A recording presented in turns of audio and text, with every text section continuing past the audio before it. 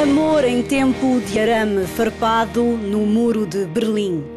Hinterm Horizonte, para além do horizonte, é um musical sobre a separação das duas Alemanhas.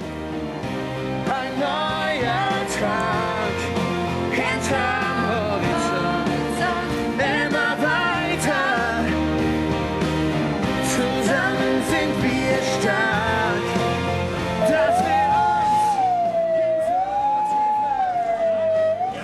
O espetáculo baseia-se nas canções de Udo Lindenberg. A estrela rock alemã foi a convidada de honra na estreia em Berlim.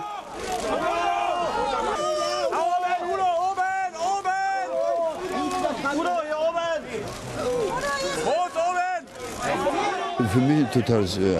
Para mim é uma aventura, sou muito experimental. Caso contrário, nunca teria aceito o projeto. Aceitei porque preciso de mudanças e novos desafios. Nunca imaginei que as músicas antigas dariam um musical como este, realizado neste teatro fantástico da Potsdamer Platz, onde ficava o muro. Fantastischen Theater hier am Potsdamer Platz, wir früher hier diese scheiß Mauer hatten und so, ja. Várias personalidades da política alemã assistiram à estreia. Gregor Gysi cresceu na antiga RDA e guarda na memória os concertos de Lindenberg. Er Quando ele cantou no Palácio da República, para nós foi algo especial. As canções tinham muito humor. Era muito satírico e original, como continua a ser ainda hoje.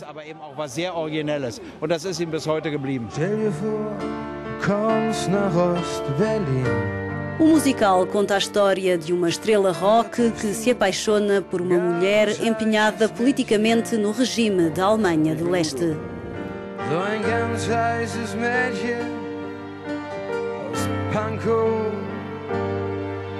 As reações da crítica são positivas. Sieh dich auf. É uma loucura, vi as reações ontem e hoje. É tempo de festa. Não entrem em pânico, ok? Tchau, pessoal.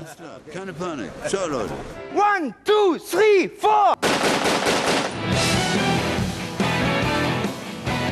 Uma East-West Side Story alemã, fruto de sete anos de preparação. Um musical sobe ao palco no teatro da Potsdamer Platz, em Berlim.